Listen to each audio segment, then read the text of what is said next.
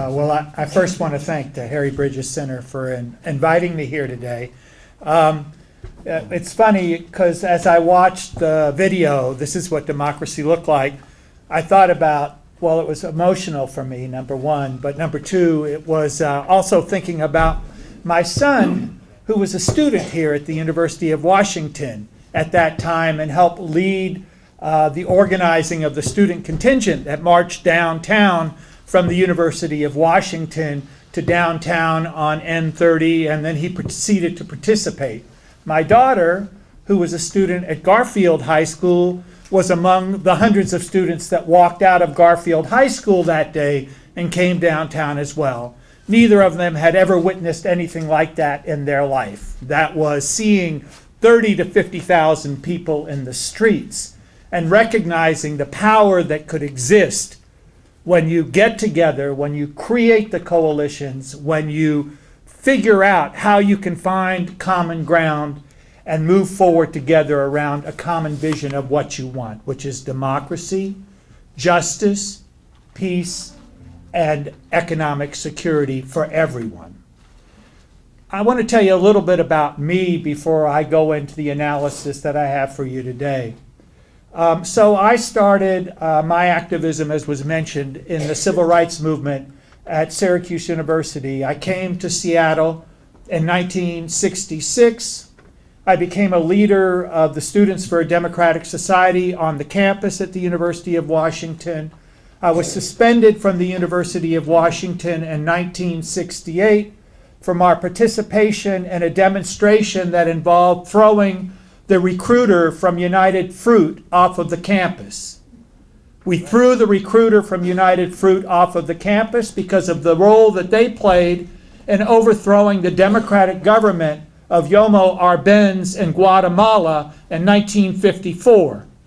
And we thought that there was no place on the university for anyone representing a corporation that would come in and overthrow a democratic government who was just trying to return the land and resources of their people to the people. I stayed out of school for four years and participated full time in anti war activity, anti imperialism activity, came back to the U and completed law school in 73 and 74. Um, passed the bar, but decided I didn't want to be a lawyer. I wanted to get involved in the labor movement. My reason for wanting to get involved in the labor movement was that I understood that the labor movement was one of the sectors of society that had the potential power to actually challenge the multinational corporate interests in this world. And I wanted to be in a place where I could be part of trying to challenge that power.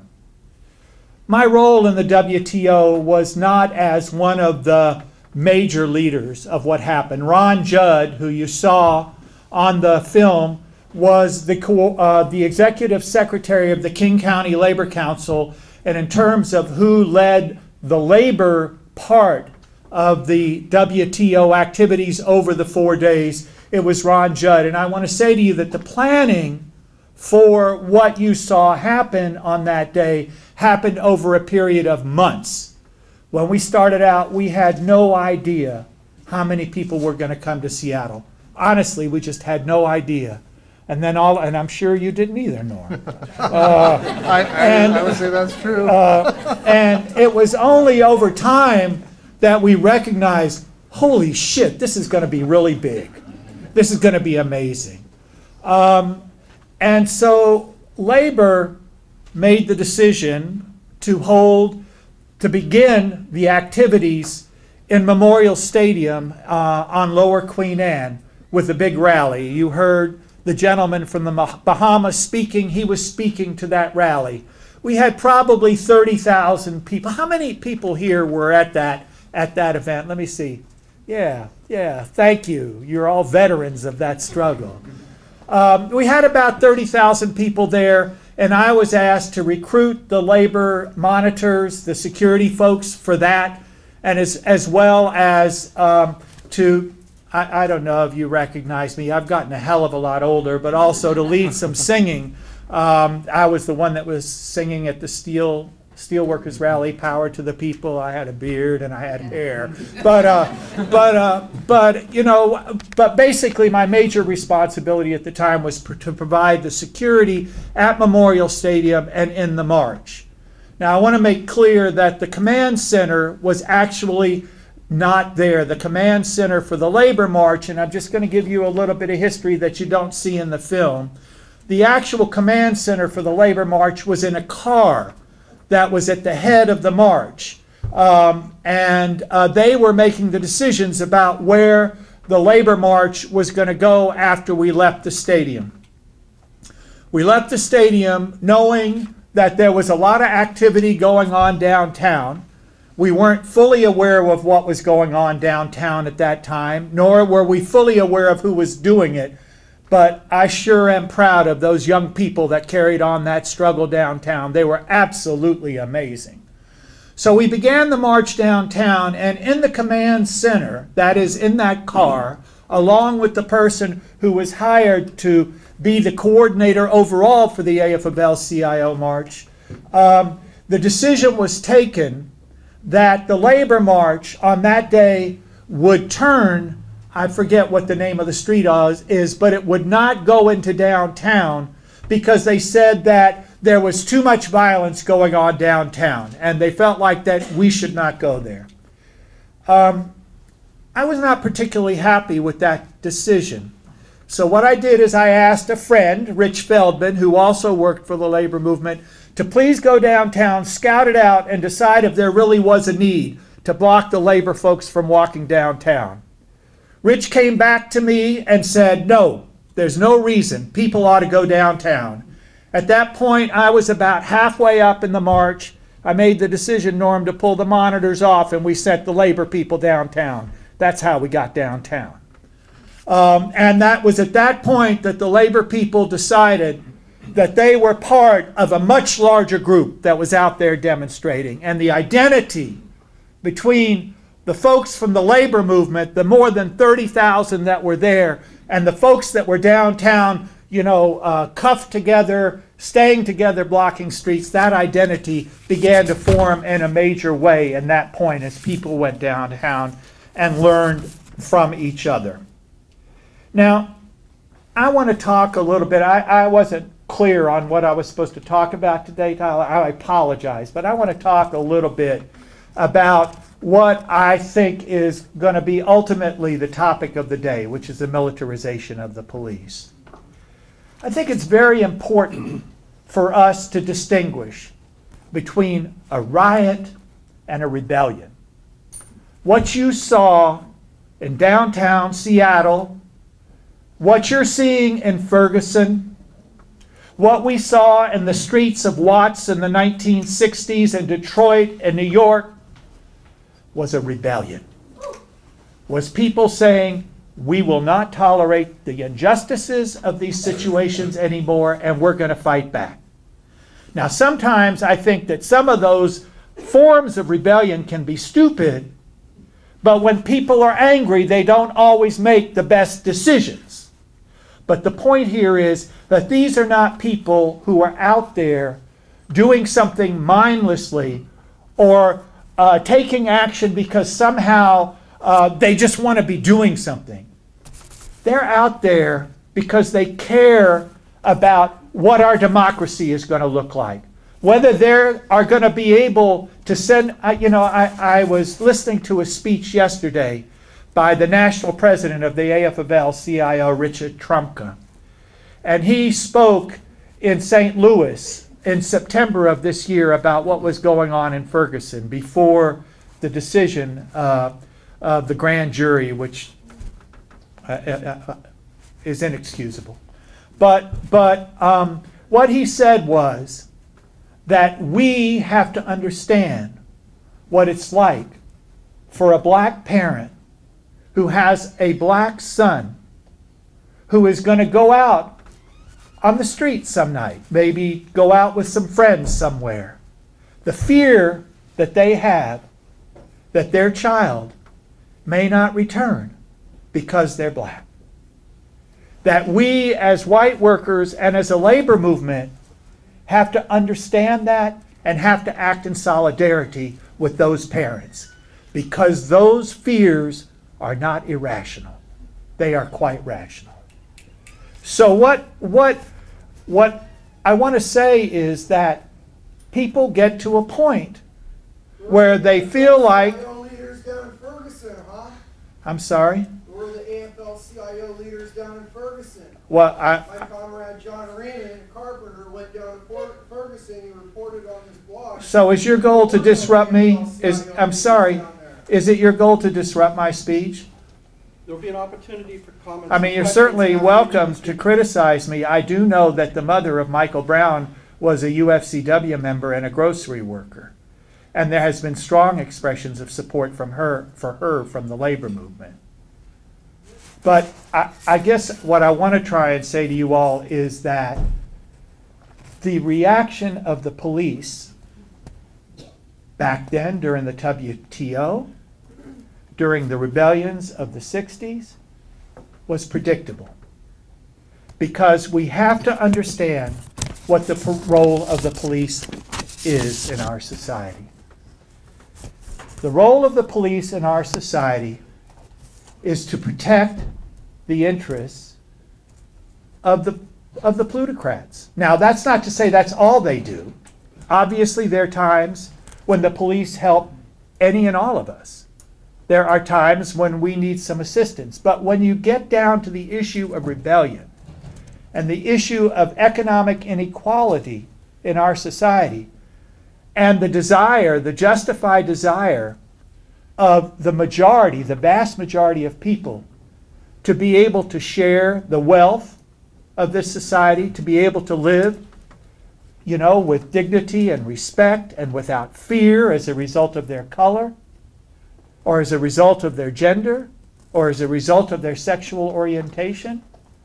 When you get down to the fundamental challenges to the economic system that allow the few to have a great amount and the many to have to share the rest, it is the job of the police to protect the interests of those who have. That is the reality, and that is what we've seen throughout the world as well as in our own country. It's also what was, what was different about the WTO and very important, which we saw smatterings of in the 60s as well during the protests, is that for the most part, that kind of repression is aimed at communities of color and poor people. And what we saw during the WTO and during those other times I mentioned was that that repression was aimed at many middle class white young people and others as well. And it was a lesson, it was an object lesson of how the state responds when there is a fundamental challenge to the economic system. Because have no doubt about it, the challenge of the WTO demonstrations and the battle in Seattle was a fundamental challenge to the economic system that the multinational corporations wanted to establish. Now, working people have faced militarization in their struggle for dignity, respect, and a decent life throughout the history of the effort to build a labor movement in this country. Working people have had the guns turned on them when they organized their unions back in the latter part of the 19th century and the early part of the 20th century. That is the nature of the class system that we live in. So, what is that level of repression designed to do? That level of repression is designed to make us fearful, to make us think that we can't change things. And what we can learn from the WTO is that if we are determined and if we are in solidarity with one another, we have the ability to make big changes. But the other thing we have to learn is that you can't have one battle and think the war is over. It goes on and on and on. Today, We're facing a similar kind of trade agreement with Trans-Pacific Partnership. How many of you know of the TPP? Let me see your hands. That's good. And how many of you are fighting to make sure, number one, that there's no fast track approval of the TPP, and number two, prepared to fight to make sure that we don't have a TPP that that helps the rich at the expense of everyone else in the world? Because that's what we're facing with the TPP and the Atlantic Partnership as well. It doesn't end there. The battle in Ferguson and the battle that's happening around the country is part of that battle, and it's ongoing. So it's not possible to sit down and rest on our laurels. I want to ask or advise any of you who have not yet had the opportunity to read the memo by Lewis Powell. Lewis Powell was the head of the American Chamber of Commerce, who in 1971 wrote a memo that became the Bible, basically, for corporate America. He wrote that memo because the 60s and 70s were so filled with democratic uprisings from the civil rights movement to the anti war movement to the women's movement to the uh, environmental movement that those interests, those corporate interests, felt like that they had lost control and they needed to reassert control. And they went to Lewis Powell, who was a brilliant man. He wrote a brilliant memo. And Lewis Powell raised, uh, uh, laid out a blueprint for how they were going to reassert control in this country. I would urge any of you who have not yet read Lewis Powell's memo to read it. Because in that memo, you can see the game plan. Now, I'm going to tell you what it is. It's Lewis. I Googled it today just to make sure that I would tell you how to do it. All you got to do is Google Lewis Powell's memo, 1971, and it'll come up and you'll see it. And Lewis Powell's memo laid out the blueprint for how corporate America was going to continue to attempt to assert control over this country and put down democratic movements. They were going to use their, their economic power to do it. It's very important that we understand how they operate in order for us to be able to know how we should operate. To many, the WTO was shocking in the level of force that was used against a predominantly white, many middle class mass of people. But to communities of color who rebelled in the 60s and remembered the armed might of the state coming down on them, to those of us who remember the killings of Black Panther leaders, the tac squads beating up on protesters in the 60s and 70s, the response of the state to the ether- efforts to either eliminate the WTO or make it responsive to the needs of the majority was not so much a shock, even though it was scary, which was what it was intended to be. I, I don't mean to demean the efforts to try and change the direction of those who challenge the dramatic militarization we are witnessing of our police force. It's important, it's part of fighting for a democracy. To challenge that trend is a fight for democracy. But I think that we have to have a bigger picture and understand if we're going to take on what we need to take on, we can expect that there's going to be significant repression that we're going to have to go to jail, that there's going to be suffering, but that with the power of all of us together, we can achieve ultimately the kind of society we want to build. Thank you.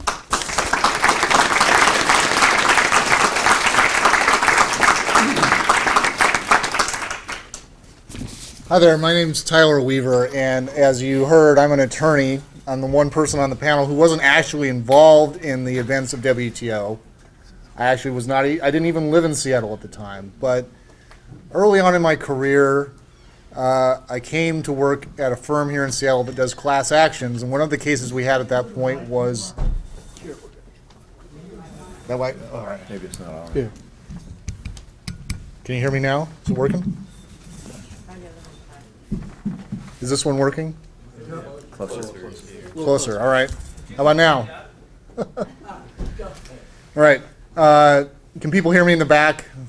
All right. So um, I was fortunate enough to, young- early in my career, to come to a firm that did class actions and already had a case pending uh, involving the arrests that happened, some of which you saw here on the, on the movie a few minutes ago, uh, involving uh, people who were surrounded and arrested by the police during the WTO protests. And um, I just want, so I, I basically had to come back and look at the events, basically in a forensic thing to try to put it on at, at a trial, present it to a judge, and figure out exactly what had gone on. Uh, I watched, I watched this documentary. I don't know how many times. We actually used some of it at trial. Uh, went back and looked at all sorts of news footage and basically archival footage. Listened to police tapes and. Um, Norm can probably tell you what happened behind the scenes, but I want to tell you a little bit more. I want to talk to, to you a little bit about what I saw uh, as far as the police, what the police did, what actually happened in the WTO, and what I think might be the legacy and what both the Seattle Police Department and other departments may have learned from this. Um, basically, they kind of alluded to this in the film, but essentially, the the protests really started on a Tuesday in the week. There was a large demonstration of 50,000 people, in addition to other people who were already there. And they essentially took over the streets of downtown Seattle. There were some, a few people who were violent, but mostly it was large numbers of peaceful protests who were uh, protesters who were in front of the doors of the convention center and uh, were basically, basically making it nearly impossible for the WTO to hold some uh, organized meetings. The response of the city and the mayor, uh, and uh, a lesser extent, Chief Stamper, but I, I don't know how involved you were in all this that went on. Maybe you can tell us. But um, essentially, they uh, declared a roughly 30 block area of downtown off limits to protest uh, the next day. Uh, that meant that they had police around the perimeter of this area of downtown Seattle, the main core, business core, shopping core, who were uh, there to break protest signs, keep people out who uh, worked downtown but were having a but had a no WTO uh, button on their chest, and to eventually arrest anybody who actually came down there to protest. Uh, one of my groups of clients, the ones we actually went to trial on behalf of, were a group of people who were basically marching through the streets peacefully within this no protest zone. Uh, they eventually ended up at Westlake Center. Uh, you saw some of that on the video. The guy with the dreadlocks was there at Westlake Center. Uh, the police scanner uh, indicated very clearly that the the police recognized these people were peaceful. Uh, Lieutenant Whalen gave an order to. I mean, basically, what he said on the police scanner was, "They're entirely peaceful. They're headed into Westlake Park. Let's surround them and arrest them." These people were surrounded completely by police. Uh, about half of them on horseback uh, and taken out one by one and put on the buses and taken off to Sand Point. The other group of people I represented were the people who had started out the Steelworkers March and had then gone up into downtown outside the no protest zone and had then uh, basically been chased down First Avenue until they were blocked because the police were afraid that they were going to head up into Queen Anne, uh, up into the privileged neighborhood, blocked them at First Avenue and Broad, between Broad and Clay, basically surrounded them and arrested them, again, for basically running away from the police and trying to get away, not be arrested. Um,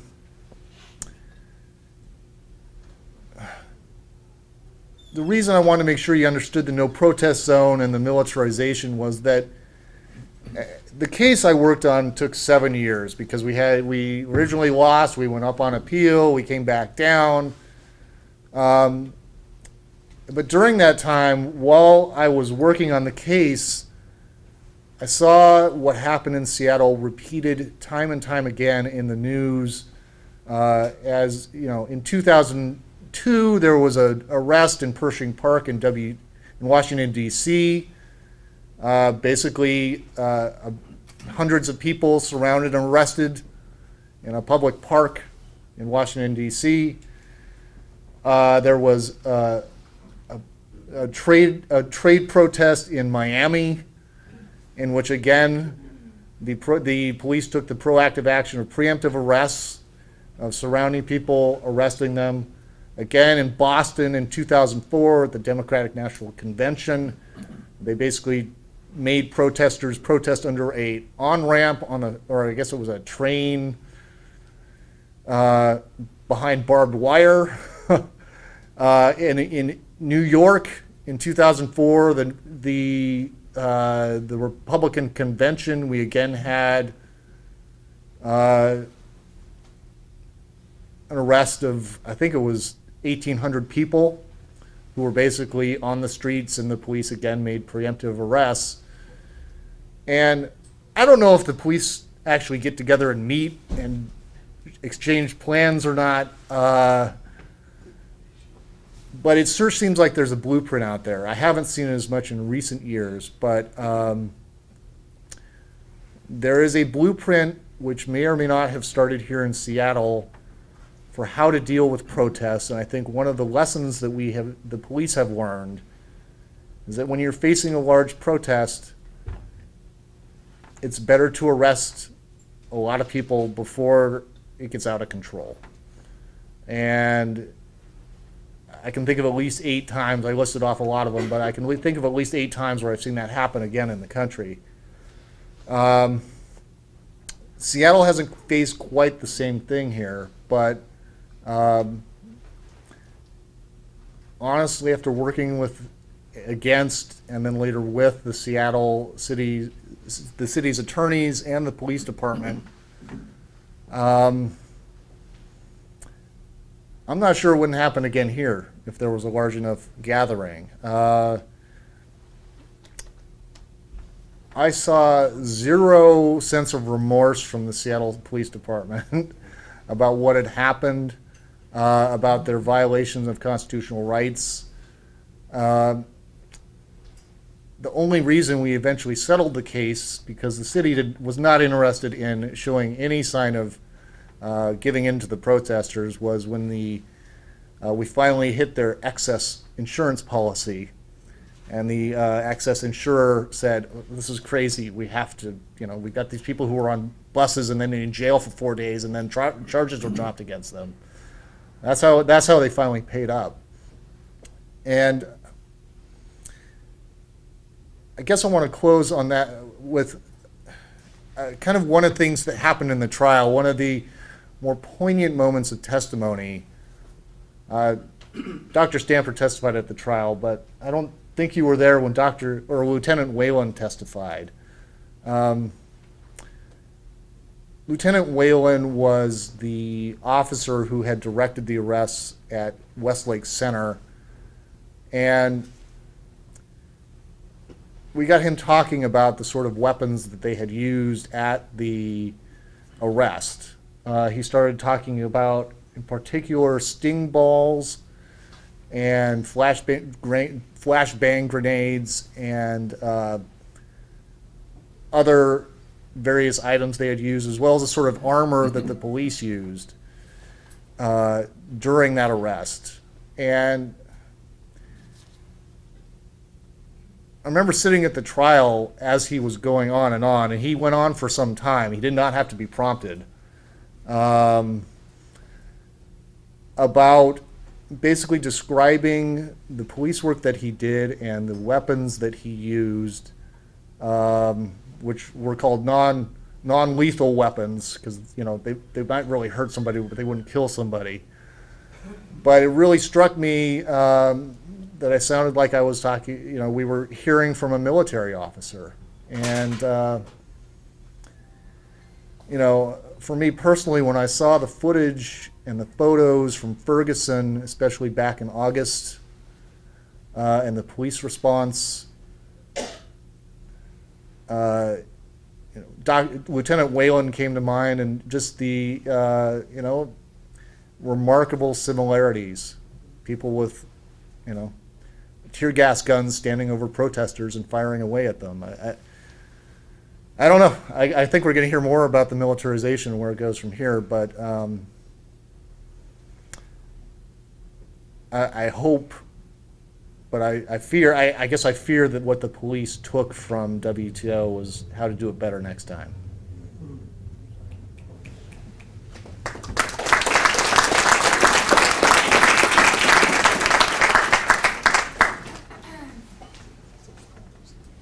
Every time I face a new anniversary of the battle in Seattle, or see a new documentary, or revisit an older documentary, I am certainly taken back to those moments on the streets uh, of my city in, uh, in late 1999. And I don't care how many times I see it, I don't care how many times I read of it, uh, I'm affected at a very deep and emotional level. I gave a talk uh, at Town Hall. It was sponsored by Elliott Bay Books um, in, in the uh, early stages of a book tour. And at the end of my talk, in which I had, in fact, apologized to the people of Seattle, to my own police officers, uh, and certainly from visitors from throughout the globe for my very poor leadership during that week and for the biggest mistake of my career. I spent 34 years as a cop. I committed myself to certain principles and values and believed that I was on the right track and that the WTO protest, the globalization and anti globalization conversation that, that uh, my mayor, Paul Schell, your mayor, if you happen to live in the city at that time, believed would happen. In other words, a conversation, a learning moment, an opportunity for people to see in sharp relief the effects of globalization, of corporate greed, of imperialism, of ab- abuse of people in the workforce, on and on and on, and those who are advocating for globalization. The Lewis Powell letter, which is so strong and so important, I think, for every American to read, to really come face to face, in effect, with the enemy. And in any event, this was to have been a learning moment, and it was that. My problem and my concern is that we have not learned the lessons of WTO. I will confess here and now that when I gave that talk at Town Hall, I said, look, we had to clear that intersection on Tuesday morning, which for me was the catalytic marker event of the week. There's some footage here of, uh, you know, I can quarrel with the filmmaker, but it's a wonderful film of me talking about our restraint and so on and so forth. Uh, and at least the first glimpse of that was on the first day when people were coming up to me, protesters from our own local community, and thanking me and appreciating our officers for their restraint and for their professionalism, which all, of course, went completely south on Tuesday morning of that week. It was that decision that I regret more than any of my 34 years as a cop. So we did learn a lot. Uh, but for five years into my retirement, that book was published in 2005. Um, I believed that we had no choice. I'm being completely honest with you when I say I believe that we needed to do what we did. So I made that statement and I offered a rationale for it.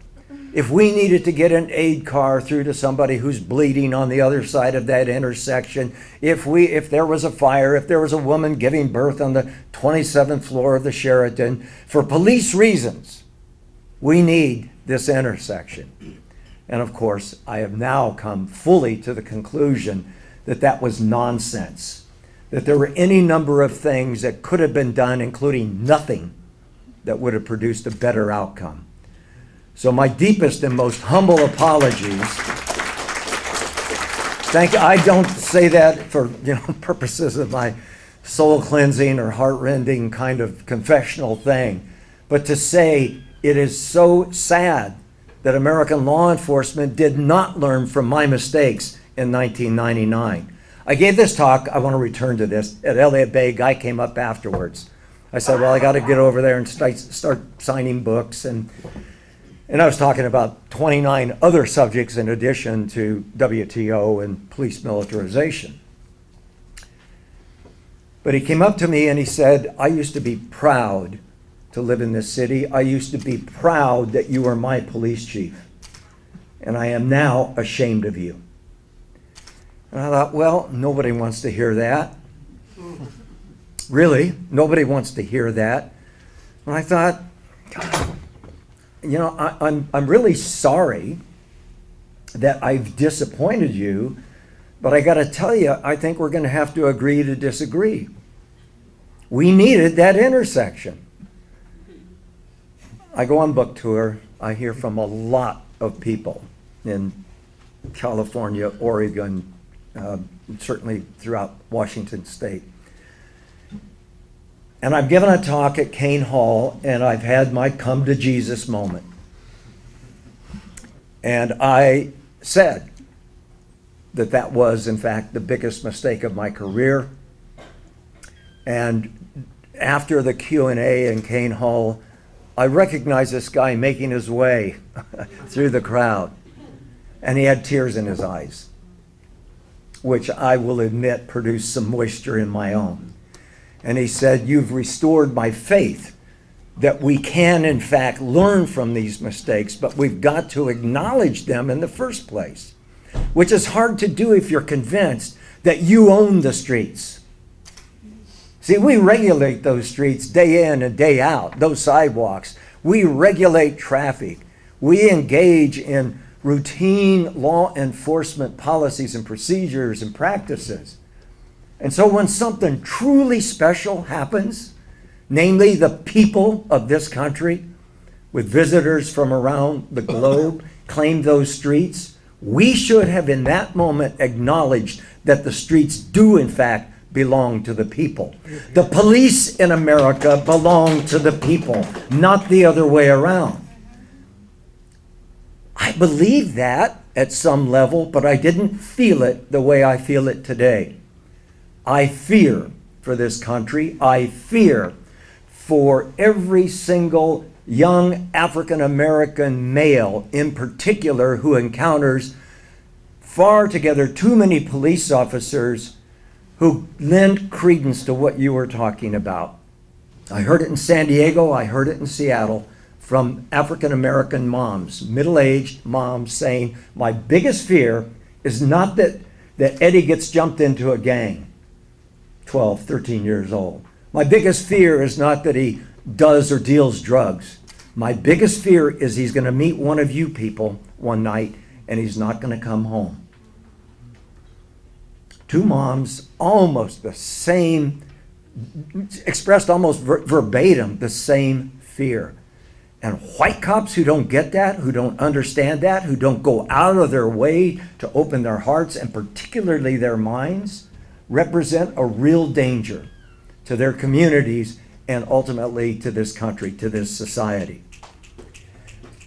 Uh, The last thing I want to say is, as you suggested earlier, why would we expect anything else?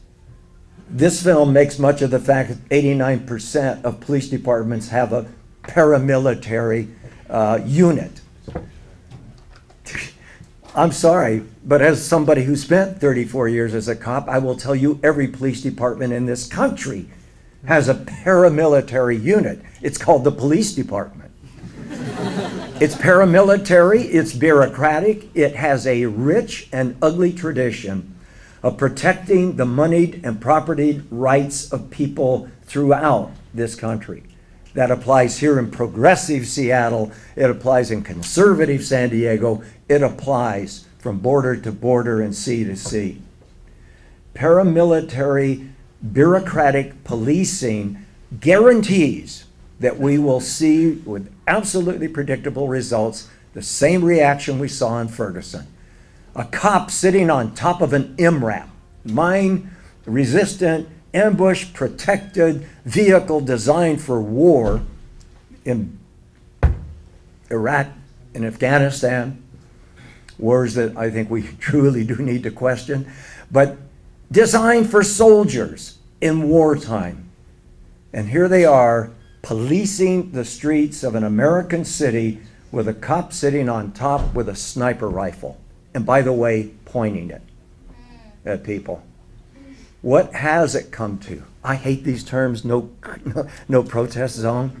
I argued, no, well, it really wasn't uh, a no protest. It was, it was a curfew. It was done for emergency purposes. And, and I'm happy to share the guilt and the blame.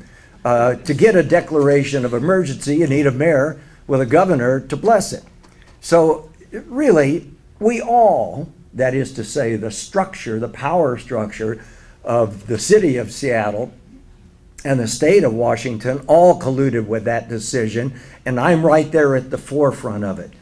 I think Paul Schell got a bad rap for WTO, by the way.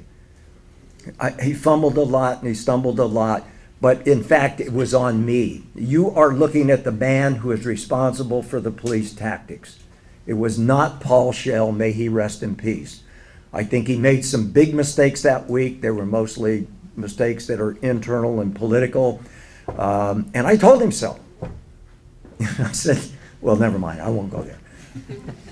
But I think it's, I think it's vital that we understand that unless and until we are prepared, an organized, mobilized, active community to confront police militarization by demanding an end or a major over, over, overhaul of the federal government's 1033 program, which provides military surplus to law enforcement. It's like from, from war fighting to drug fighting.